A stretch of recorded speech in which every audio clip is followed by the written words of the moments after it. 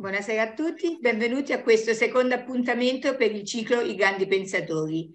Oggi abbiamo un nostro ospite, Rav Alberto Somek, che tutti voi conoscete, e parleremo di Rav Yosef Bershlovecic. Prego, Rav. Grazie Paola, complimenti per tutto quello che fai e che fate nell'ambito di Kesher, in, in tutte le attività che la comunità di Milano organizza, è la mia comunità di origine, anche se da 30 anni vivo a Torino ormai, ma mi fa sempre piacere rientrare fra di voi. Un abbraccio virtuale a tutte e a tutti e eh, cominciamo la nostra conversazione in realtà, più che di una conferenza si tratterà di una conversazione.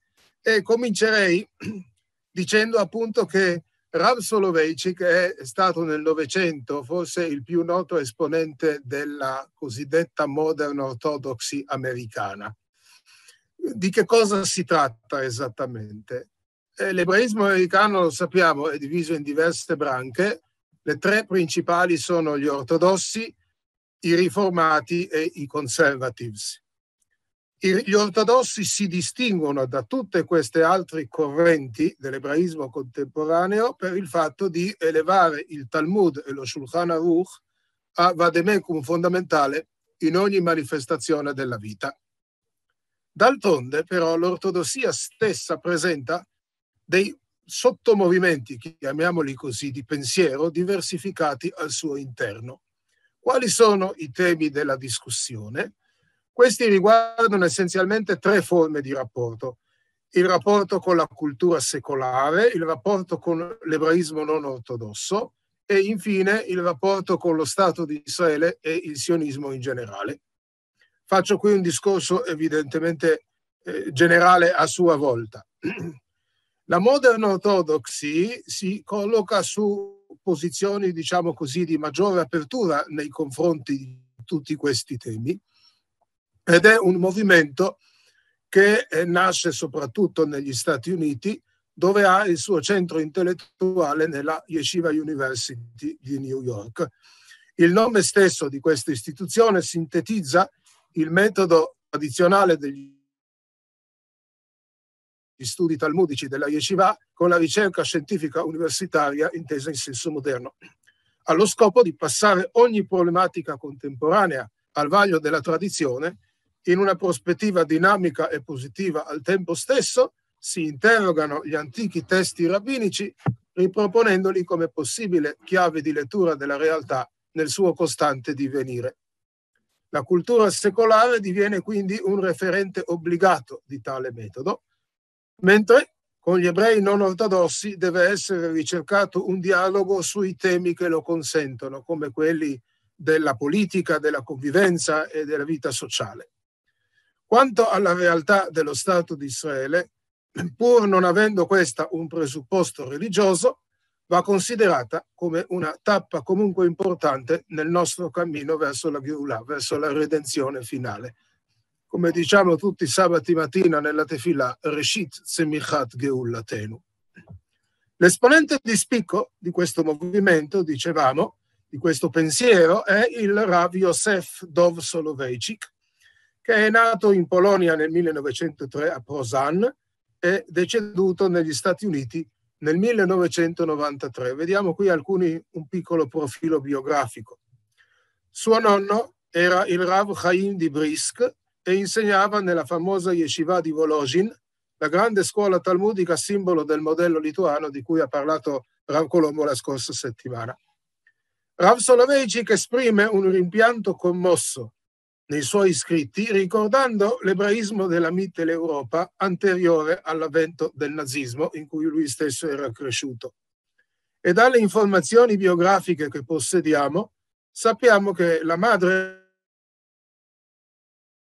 ebbe una grande influenza su di lui. Si narra che dopo averlo affidato a un precettore negli studi ebraici, non persuasa dei risultati raggiunti dal giovane Yosef, convinse il padre Moshe, suo marito, a farsi carico personalmente dell'istruzione del ragazzo. E di questa relazione si avverte un'eco accurata negli scritti, in cui Rav Soloveitchik rivendica l'importanza della madre nel Talmud Torah dei figli accanto al ruolo del padre e la paragona addirittura alla Shekinah, che richiede solo di essere riconosciuta. che il bambino sia consapevole, cioè che la mamma è sempre al suo fianco. Rav Soloveitchik avrebbe poi ricevuto anche un'educazione secolare più tardi, tramite, sempre tramite insegnanti privati. Dalla madre ereditò anche l'interesse per la letteratura e la filosofia, nonché un certo temperamento romantico che integrò il rigore metodologico delle sue analisi. A 22 anni si iscrisse all'Università di Berlino, dove studiò matematica e poi filosofia. Fu fortemente influenzato dalla scuola neocantiana rappresentata da Hermann Cohen, dedicando al pensiero di questo autore la sua tesi dottorale nel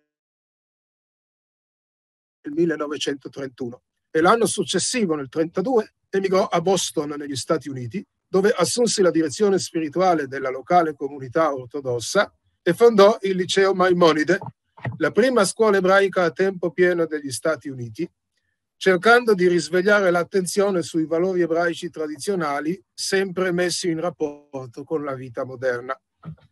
Nel 41, dopo la morte del padre, ne ereditò l'incarico di professore di Talmud al Rabbi Yitzhak El Hanan Theological Seminary, affiliato alla Yeshiva University di New York, e contemporaneamente la cattedra di filosofia ebraica nella stessa università. Si affermò come figura leader dell'intero ebraismo ortodosso americano in qualità di presidente della Commissione Alachica del Rabbinical Council of America e del movimento Mizrahi d'oltreoceano. Le sue lezioni erano seguite da un vastissimo uditorio di studenti e ancora oggi è conosciuto, alla, considerato alla Yeshiva University il Rav per antonomasia. Fedele alla tradizione del nonno, alla tradizione di Brisk, cui aderisce la, famiglia, la sua famiglia, ha pubblicato personalmente pochissimo. Diversi saggi tratti dalle sue lezioni e conferenze sono stati successivamente dati alle stampe dagli allievi per iniziativa dei, dei discepoli e uno di questi è stato tradotto in italiano, pubblicato dalla Giuntina nel 1998 sotto il titolo Riflessioni sull'ebraismo. È una traduzione che abbiamo fatto noi da Reflections of the Rav o in ebraico Perakim Bemachshevet Rav. Il primo suo scritto in ordine cronologico, scritto da lui, è comunque Sacred and Profane in World Perspective, sacro e profano nella prospettiva universale, scritto nel 1945, subito dopo la guerra, ed è la base del suo pensiero religioso. Lontano dall'assicurare un rifugio contro l'angoscia del destino, dice Rav Soloveitchik, la religione è continua fonte di problemi, in quanto essa rivela all'uomo l'insolubilità, l'insolubilità del mistero dell'universo. La Kedushah non è un paradiso, dice, ma un paradosso. Fede e morale, secondo lui, sono inseparabili. Se non è possibile l'etica senza la religione, afferma, non è neppure possibile d'altronde la religione senza etica. Di più, se la religione si corrompe con l'immoralità, essa volta faccia e diviene una forza negativa e distruttrice la halakha, il diritto ebraico, il rito al servizio della Kedushah, parola che di solito traduciamo impropriamente con santità, è dunque sforzo continuo, sfida incessantemente volta alla santificazione del profano. La parte centrale di questo breve testo è essenziale. Commentando un'affermazione della Mishnah, secondo cui una dote fondamentale dello studioso è conoscere il proprio posto, Hamakir et Mekomo in ebraico, Rav Soloveitchik sostiene che la Kedushah non trova espressione solo nel tempo, ma anche nello spazio. Del resto, Makom, che significa luogo in ebraico, sappiamo, è uno dei nomi di Dio. È, un è uno dei nomi di Dio. E scrive che come il sedentario è superiore al nomade in quanto dispone di un proprio luogo di riferimento sulla terra, così anche nel dominio spirituale il sapiente è superiore all'erudito. Mentre l'erudito accumula un sapere indiscriminato e sovente non vagliato, il sapiente ha il vantaggio di prendere posizione. La tragedia di molti ebrei moderni oggi, scrive, non risiede in una mancanza di conoscenze, anzi la cultura è diffusa, la cultura ebraica, ma piuttosto nella mancanza dell'esperienza vivente dei valori, nella relazione appassionata del fedele con l'oggetto della sua adorazione. Bellissimo questo linguaggio con cui eh, rileva quali sono i problemi dell'ebraismo contemporaneo.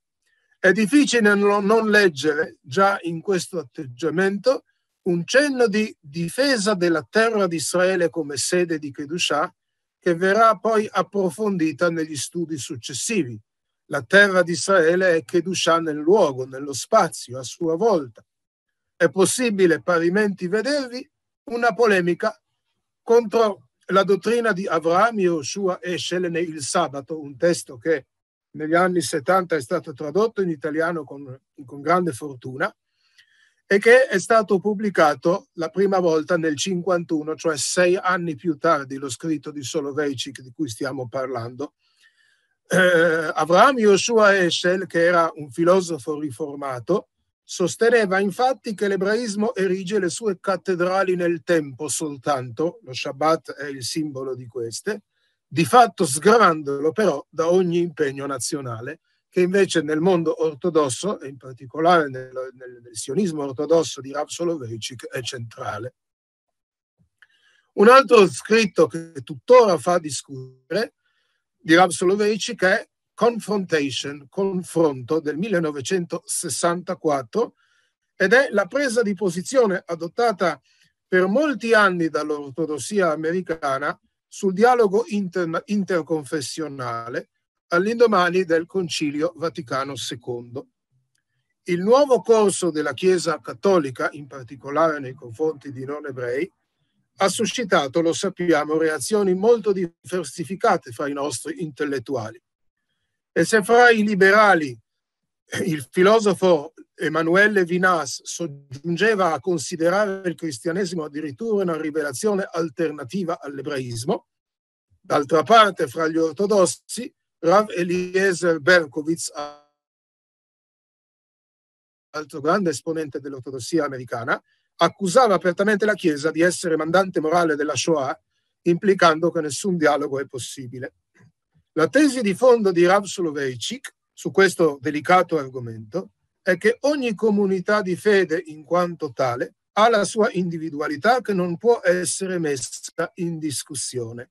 L'uomo non merita il dialogo finché non è arrivato ad un confronto personale con se stesso, scrive Rav Soloveitchik riferendosi a, ebrei, a, a noi ebrei, fin, mentre riferendosi ai cristiani dice che eh, dall'altra parte ci deve essere una rinuncia ad ogni velleità di sopraffazione culturale. Quindi noi dobbiamo, noi ebrei, prima di intavolare un dialogo con i cristiani, dobbiamo avere chiare tutte le nostre posizioni e sentirle.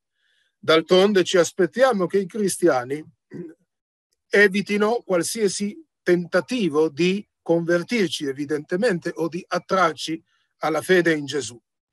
Ma ciò risulta di fatto impossibile, dice Rav Soloveitchik, dal momento che ogni religione ha la pretesa di essere depositaria della verità assoluta.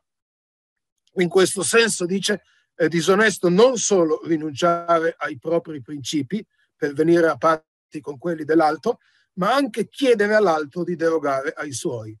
E quindi meglio evitare il dialogo teologico tout court piuttosto che vedere un ebraismo che si annacqua di fronte al cristianesimo o d'altronde chiedere al cristianesimo che riveda i propri dogmi in funzione nostra. Entrambe le posizioni sarebbero disoneste e quindi solo sul piano pratico e sociale, ma non su quello dottrinale, si può pensare, dice Rav Soloveitchik, che le comunità religiose sviluppino un'azione comune. È interessante che la generazione successiva dei suoi stessi allievi, oggi in funzione anche di, un, dice, di, un'evoluz- di, un, di un'evoluzione che esiste anche nell'atteggiamento della Chiesa nei nostri confronti, oggi eh, si assume tendenzialmente un atteggiamento molto più liberale su queste cose. D'altronde io mi domando se Rav Soloveitchik ancora a noi uomini e donne del 2000 non ha qualche cosa da comunicarci, da insegnarci anche su questo delicato terreno.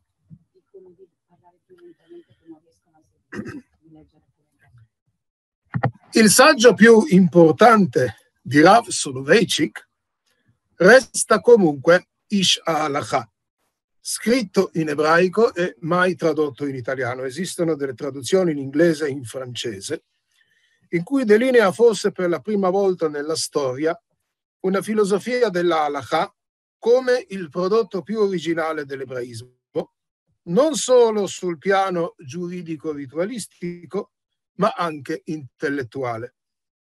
Dato un testo che è la Torah, rivelato personalmente da Dio e pertanto immutabile e insostituibile, esso viene consegnato all'uomo una volta per tutte perché lo reinterpreti, senza che neppure Dio stesso possa da allora in poi essere richiamato in causa. Questa è una delle basi dell'ebraismo. L'Oba Shamaim Hi, la Torah non è più nel cielo, è stata consegnata ai, ai Chachamim fra gli uomini perché la reinterpretino. La halakha è dunque partecipazione umana all'iniziativa divina e come tale presenta due aspetti contrapposti, dice Rav Soloveitchik. Da un lato cristallizzazione, dall'altro audacia intellettuale. L'homo alachicus ha contemporaneamente i tratti dell'uomo religioso ma anche quelli dell'intellettuale scienziato. In quanto uomo di fede, deve prendere atto dell'inconoscibilità ultima del mistero dell'universo. In quanto scienziato, è chiamato al compito di ridurre al massimo il margine di ciò che è sconosciuto. E qui emerge il rapporto di Rav Soloveitchik con la scuola filosofica neocantiana di cui abbiamo già accennato. L'Homo alachicus, scrive, non desidera affatto conoscere la natura per se stessa, bensì si forgia un ritratto a priori e una forma ideale e la compara con il mondo reale. Il suo approccio alla realtà non ha altro scopo che stabilire un, raccordo, un rapporto fra la sua creazione ideale a priori e la realtà immediata. Le leggi e i fenomeni della natura gli servono per confrontarli con leggi e principi precisi, la cui origine risale in realtà alla rivelazione sul monte Sinai. Così come il matematico osserva lo spazio in base a dati geometrici ideali. L'Homo alachicus soffre certamente per le sue intime contraddizioni fra aspirazione alla ricerca e consapevolezza dei suoi limiti. Ma lungi dall'abbatterlo, tali contraddizioni creano in lui una figura profondamente positiva, una personalità fortemente ancorata alla santità, alla Kedushah, di un livello assai superiore a quello di una coscienza religiosa ordinaria. L'ebraismo, in sostanza, dice Rav Soloveitchik, ha un approccio scientifico alle proprie fonti. Ed è su quello in realtà che la Chokhmah ha il suo centro, in sostanza. Quindi non nella fede cieca in un mistero, ma nella ricerca della verità attraverso un confronto continuo con i testi che richiama da vicino l'attività dello scienziato per molti aspetti. E qui abbiamo quindi già l'enucleazione di un, di un, di un doppio elemento, eh, lo vedremo questo, il, il, spesso il pensiero di Rav Soloveitchik si, eh, ehm, si attua attraverso il confronto fra due elementi contrapposti, attraverso un'analisi di questo tipo. Fra le opere pubblicate dall'autore originariamente in inglese, qui abbiamo parlato di un'opera in ebraico, adesso parleremo di un'opera in inglese, va segnalato The Lonely Man of Faith, tradotto da Vittorio Robiati Ben Daoud per la Belforte nel, 2000, nel 2016 con il titolo di La solitudine dell'uomo di fede. Una traduzione francese dice invece il credente solitario. Questo testo è stato scritto, dicevo, in inglese nel 65, nell'ambito di un progetto universitario per lo studio degli atteggiamenti religiosi di fronte ai problemi psicologici.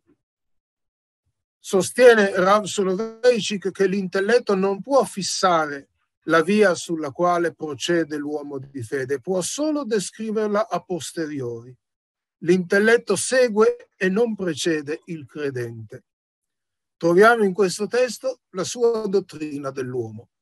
Rav Soloveitchik rileva l'esistenza di un duplice racconto della creazione all'inizio di Bereshit, con l'impiego di due diversi nomi divini. Nel primo capitolo l'uomo è lo scopo finale dell'opera, mentre nel secondo egli è collocato al centro.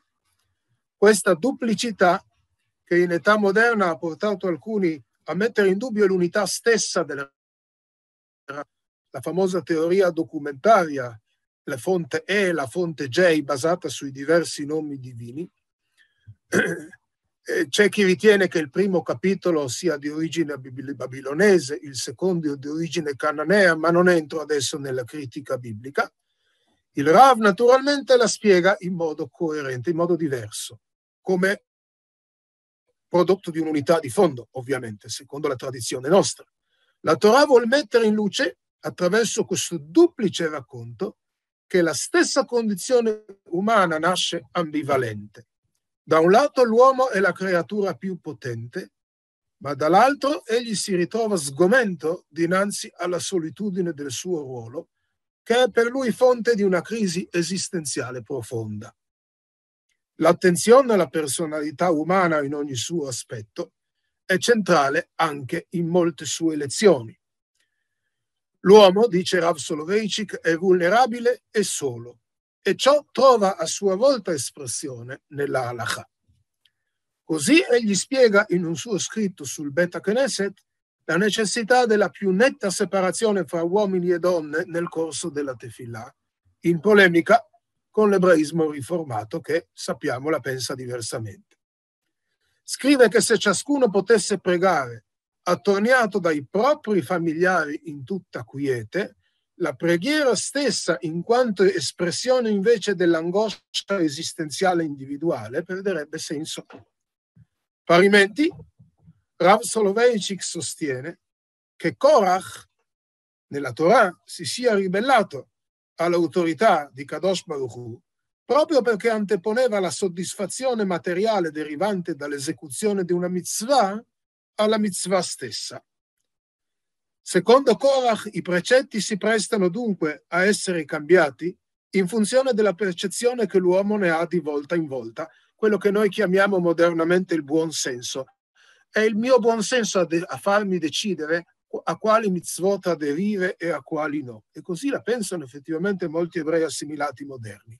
Ma la realtà è inversa. Il godimento può essere un effetto dell'osservanza, ma mai un movente.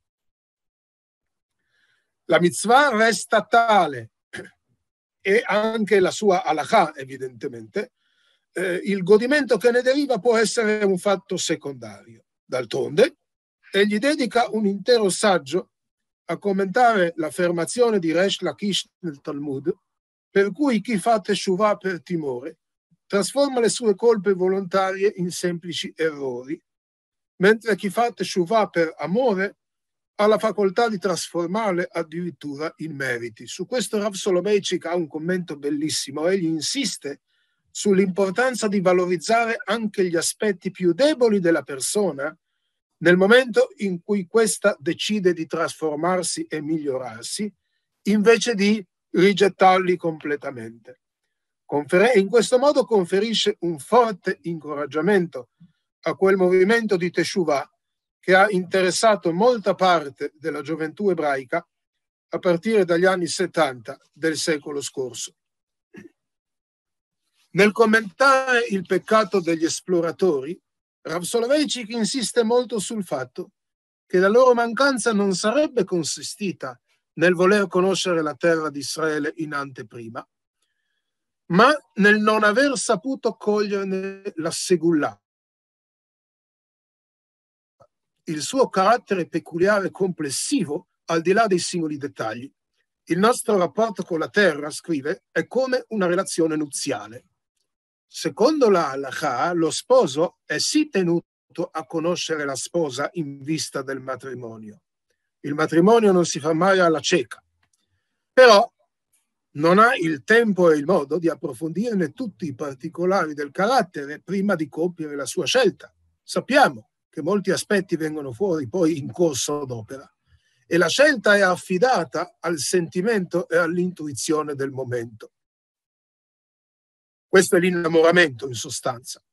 Rav Soloveitchik mostra un'attenzione alla psicologia della condizione umana anche nello spiegare le regole di Pesach. Passati dalla condizione di schiavi a quella di uomini liberi, per prima cosa gli ebrei dovettero riappropriarsi della nozione di tempo.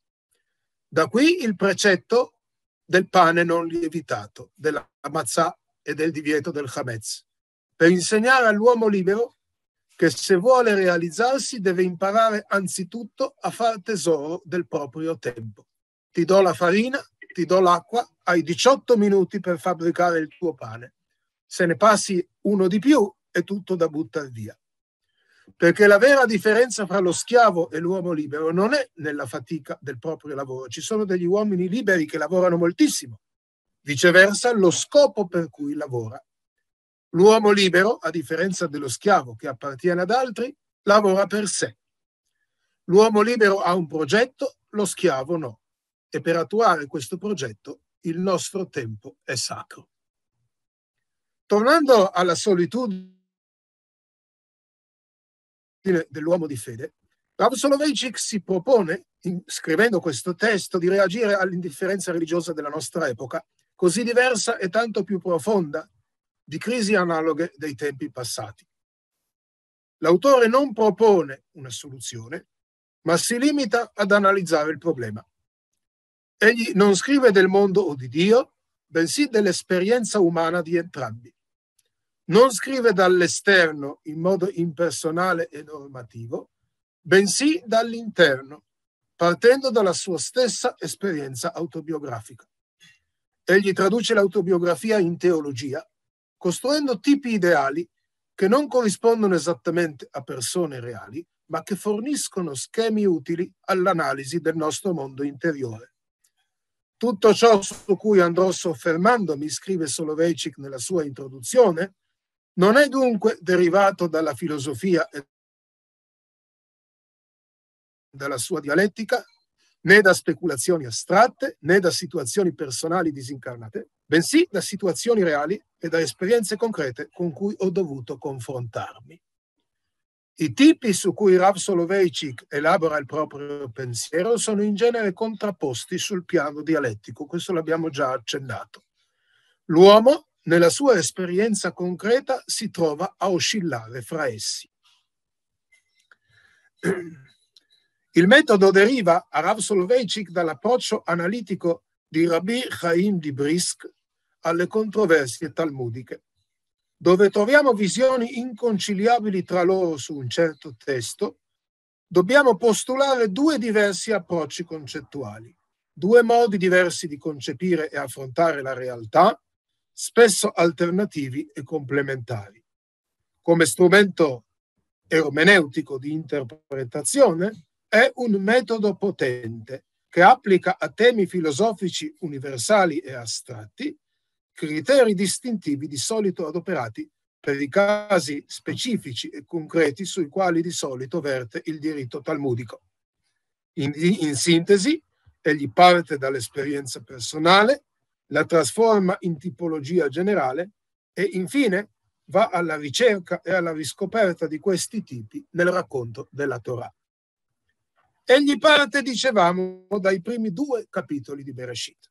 Non li vede come due fonti differenti dello stesso racconto, ma come due tipi, due visioni complementari della dualità che costituisce l'essere umano. Abbiamo un primo Adamo descritto come creato a immagine divina nel primo capitolo. Compare al culmine di un processo creativo che, come sappiamo, dura sei giorni. E aspira a diventare il maestro della natura. Ricrea il mondo secondo norme scientifiche, etiche ed estetiche allo scopo di affermare la propria dignità. Come dice la Torah in quel, in, alla fine di quel capitolo, riempite la terra e conquistatela, quella che Rav Solveig chiama la dignità maestatica dell'uomo.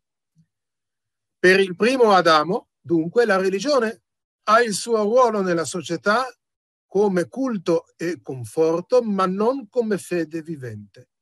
La compagna è creata insieme a lui, lo accompagna fianco a fianco come una collaboratrice come se fosse seduta al nostro fianco.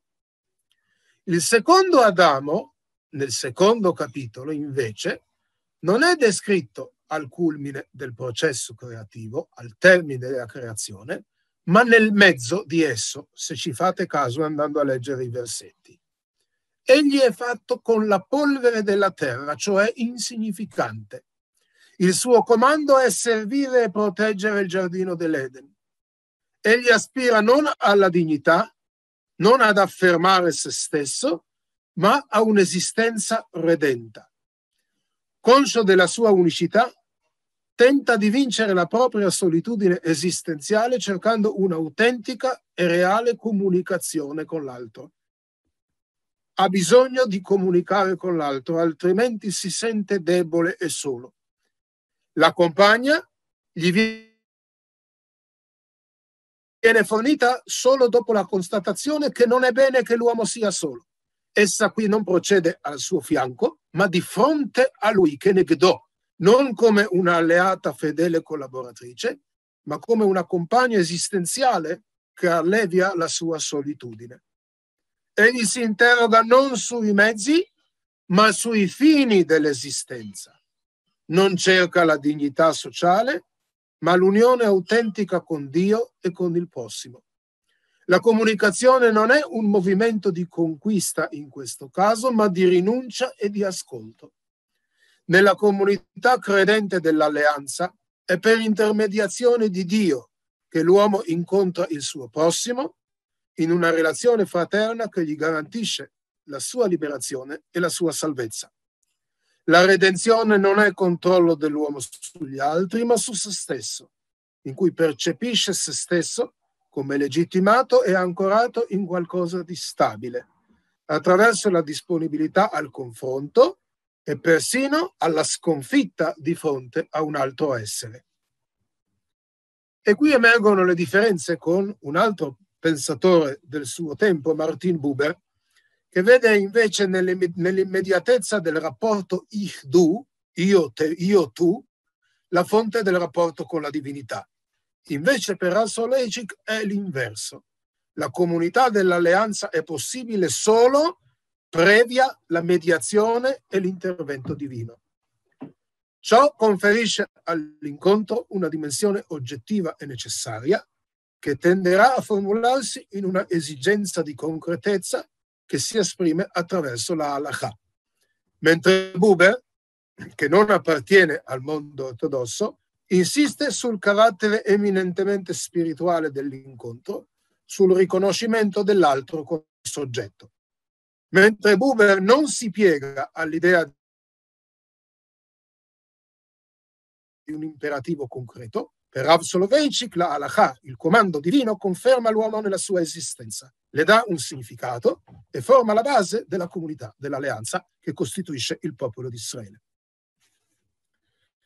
Rav Soloveitchik spiega quindi in questo modo anche la differenza dei nomi divini rispetto ai due primi capitoli di Bereshit. E riporta il nome Elohim del primo capitolo, Bereshit bara Elohim, al Dio cosmico, mentre il tetragramma Yud Hei Vav Hei che appare nel secondo si riferisce a una rivelazione intenzionale eh, avente per scopo la redenzione dell'uomo. Ha trovato la sua prima espressione sul monte Sinai e si è proseguita attraverso la profezia e quando questa si è interrotta attraverso la tefillah, la preghiera, che è un'iniziativa umana. Profezia e preghiera, diremo con linguaggio matematico, hanno lo stesso vettore, pur cambiando di senso. Nella prima è Dio che parla all'uomo, la profezia, mentre nella preghiera è l'uomo che parla a Dio. Questa è un'esperienza collettiva che risponde a un'esigenza normativa e non semplicemente a un bisogno individuale interiore. Questa dualità e questa tensione dialettica sarà superata solo ai tempi messianici. Di qui la solitudine dell'uomo di fede che muove l'uomo come un pendolo, diciamo così, fra attività e passività, possiamo dire. La legittimità della ricerca scientifica e del progresso tecnologico, il primo Adamo, come atti perfettamente conciliabili con la fede del secondo. O meglio, il conflitto c'è, come si è visto, ma interamente contenuto nell'ambito religioso. La religione non è uno strumento di oppressione, di appiattimento e di asservimento, né di contemptus seculi, di, come si dice, di, di, di disprezzo della mondanità, come sostenevano illustri pensatori anche nell'età moderna, da Marx a Hegel a Nietzsche. La stessa Halakha, abbiamo visto, promuove la ricerca intellettuale persino nell'ambito della fede e l'homo halachicus condivide assai più dello scienziato che non dell'homo religiosus nel senso convenzionale del termine. Il conflitto fra culture, fra religione e scienza, passa da un, da un antagonismo statico a una oscillazione dinamica all'interno dell'anima del credente. Rav Soloveitchik ha preso il dilemma della modernità e lo ha identificato con le radici dell'umana esistenza fin nei primissimi capitoli della Bibbia. Infine, alcune parole su un'altra sua opera, Coldo di Dofec, pubblicato a sua volta in traduzione italiana da Belforte, ad opera di Vittorio Rubiati Bendaud, che ringrazio insieme a Guido Guastalla per queste opere importantissime di diffusione nella cultura ebraica italiana, la traduzione del 2017, il testo di Rav Soloveitchik eh, è del 1969, all'indomani della guerra dei sei giorni.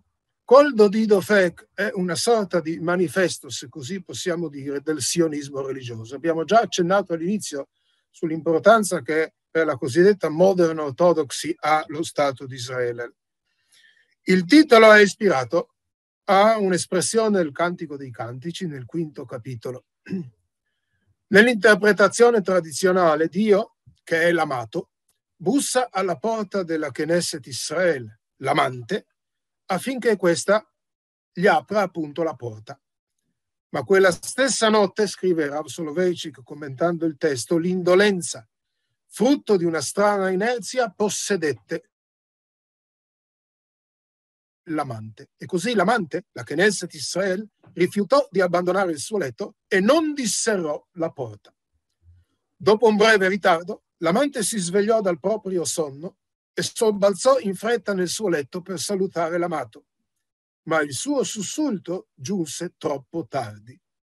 L'amato aveva ormai cessato di bussare, scomparendo nell'oscurità della notte. È una bellissima metafora, dice in sostanza Rav Soloveitchik, per spiegare la difficoltà dell'ebraismo ortodosso di accettare questa nuova realtà rappresentata dal sionismo e dallo Stato di Israele che si è presentata alle porte della nostra storia all'improvviso dopo l'esperienza tragica della Shoah. Nella notte della Shoah, scrive il Rav, l'Onnipotente improvvisamente apparve e iniziò a bussare alla tenda dell'amante, cioè del popolo ebraico. A causa del bussare e del battere alla porta dell'amante dolente, vide la nascita lo Stato di Israele. L'amante, scrive Rav Soloveitchik in una bellissima analisi, bussò alla porta sei volte. La prima nell'arena politica, sul piano delle relazioni internazionali, la rinascita dello Stato di Israele fu un'occorrenza pressoché soprannaturale. Il secondo battito nel campo di battaglia, allorché le esigue forze di difesa israeliane sconfissero le potenti armate arabe. Terzo battito sul piano teologico.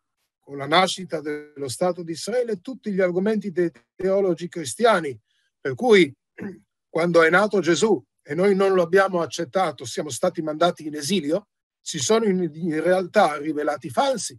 E questo è una, uno dei motivi fondamentali per la difficoltà da parte della Chiesa di riconoscere la realtà dello Stato di Israele.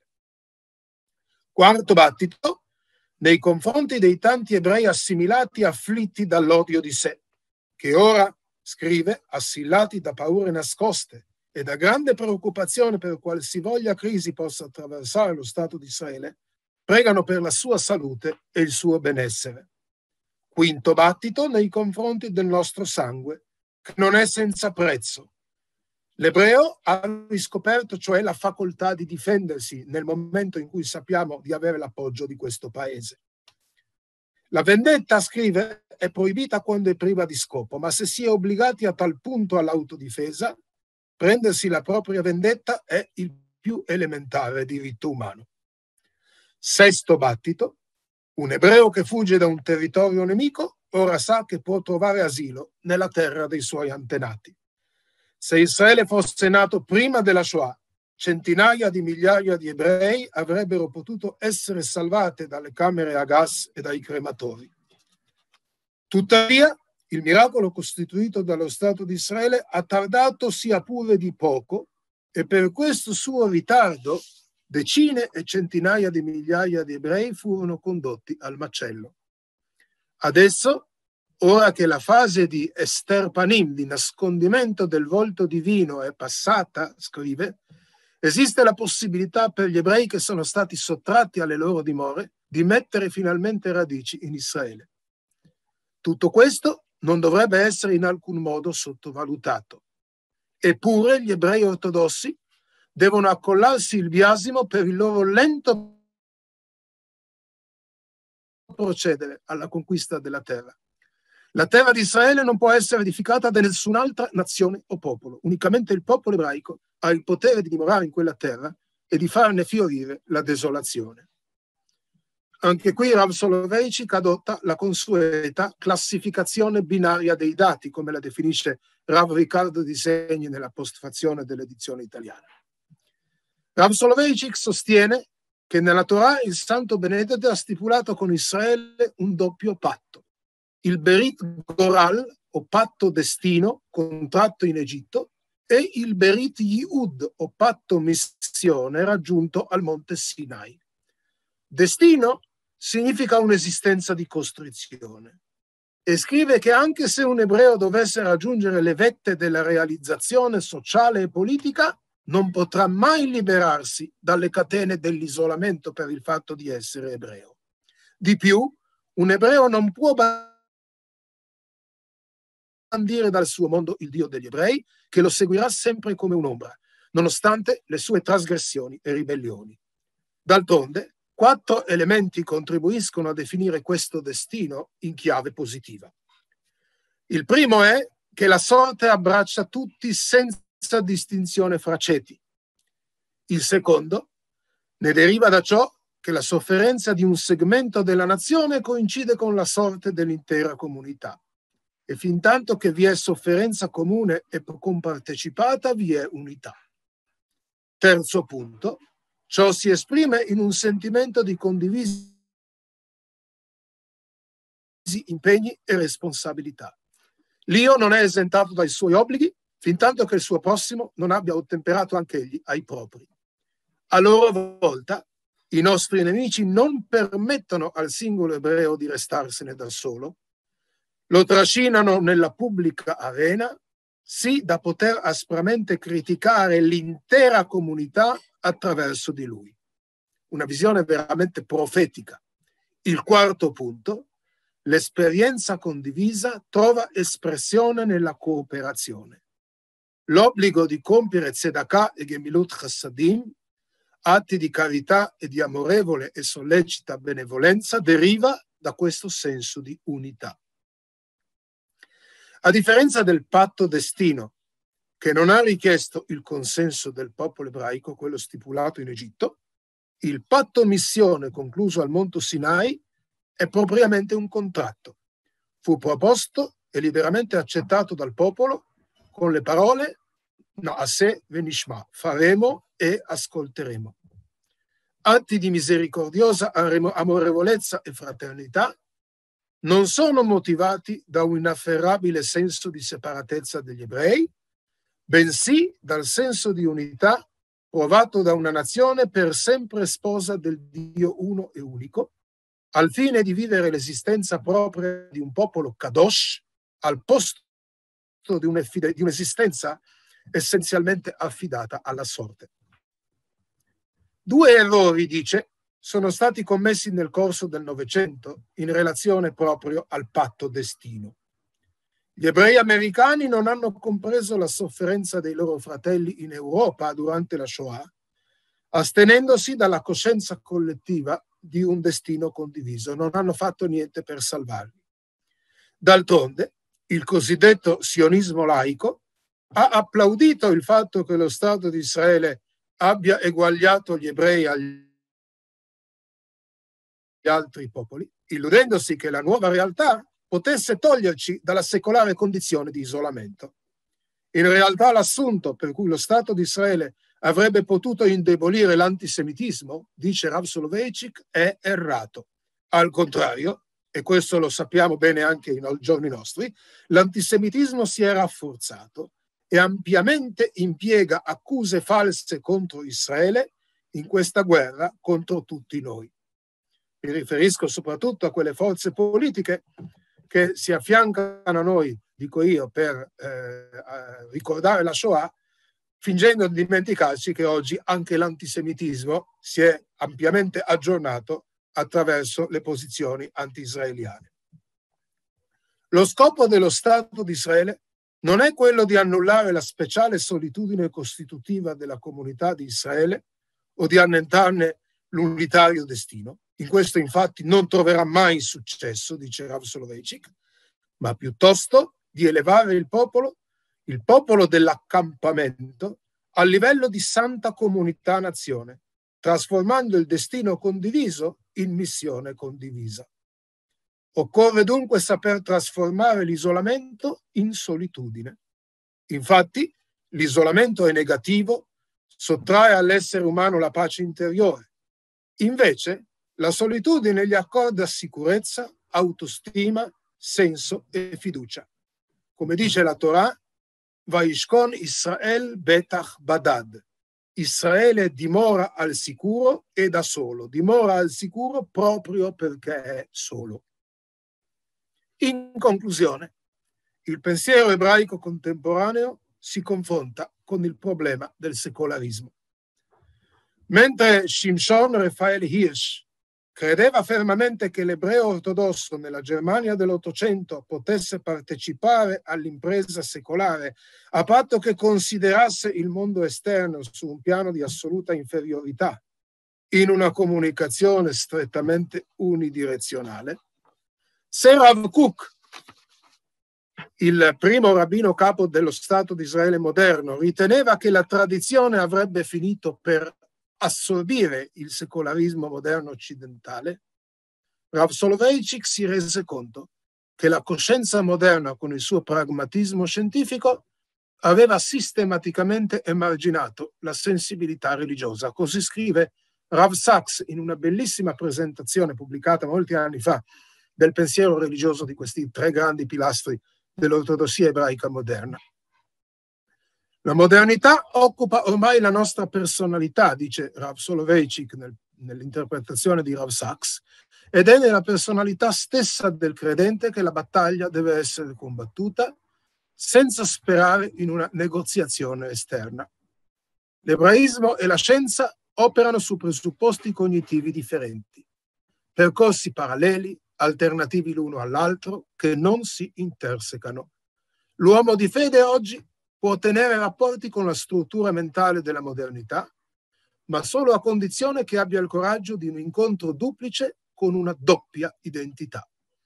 Come uomo maestatico, Egli è parte dell'impresa umana secolare, il primo Adamo, ma come uomo del patto, il secondo Adamo è erede di una tradizione di fede che non può essere tradotta nel linguaggio contemporaneo ed è nutrita di concetti oggi improponibili come sconfitta, vulnerabilità, isolamento, fallimento.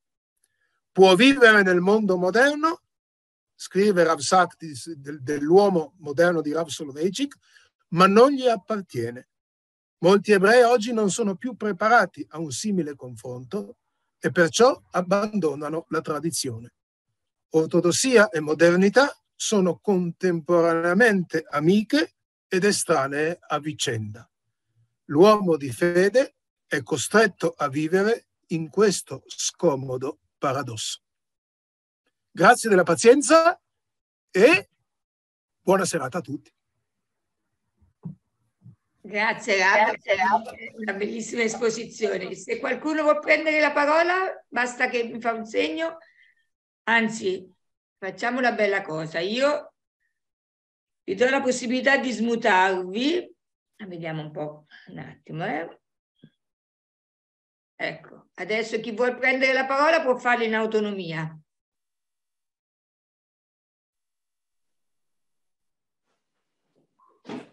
Intanto voglio fare complimenti a Rav Somek perché ci ha dato una lezione straordinaria. Poi lo voglio ringraziare per le citazioni che ha fatto e poi voglio fare una provocazione.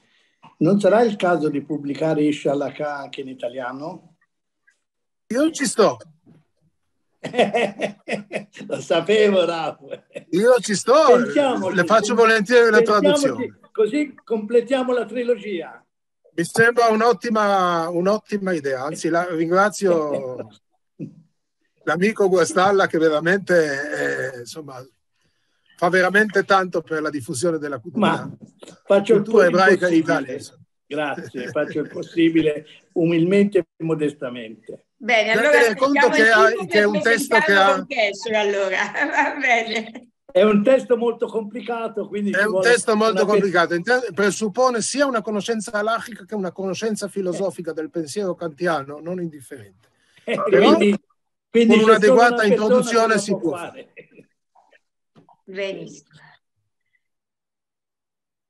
Allora, mentre qualcun altro può prendere la parola, io intanto vi ricordo il prossimo appuntamento lunedì prossimo Avremo con noi Rav Benedetto Carucci che ci parlerà di Walter Benjamin, ricomporre l'infanto. Invece domenica, assolutamente, alle 17, non perdete l'appuntamento con eh, analisi demografiche e prospettive per il futuro in Israele. Ne parliamo con Joram Ettinger, intervistato da Niran Ferretti. E ovviamente e l'oratore parlerà in inglese ma avremo una traduzione simultanea per cui avremo un'analisi che in un momento come questo è molto importante per qualcuno che vive la realtà israeliana. Allora, qualcuno vuole prendere la parola, fare un saluto, fare una domanda a Rav Somek prima di salutarci? Grazie di nuovo, grazie, grazie. bellissima lezione, grazie. Grazie, grazie. buonasera a tutti.